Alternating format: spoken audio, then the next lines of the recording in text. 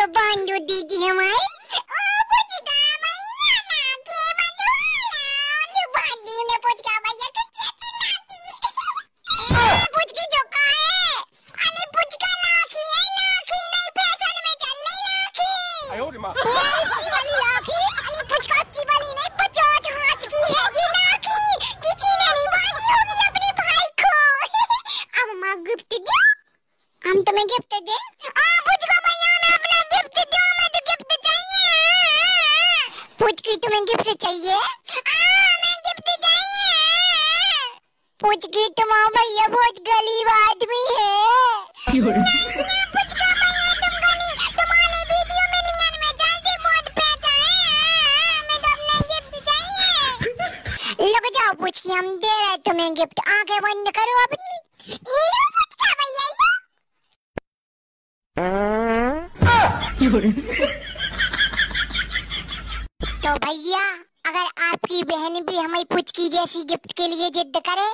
तो आप बिल्कुल ऐसी पद्दू छुआ दो धन्यवाद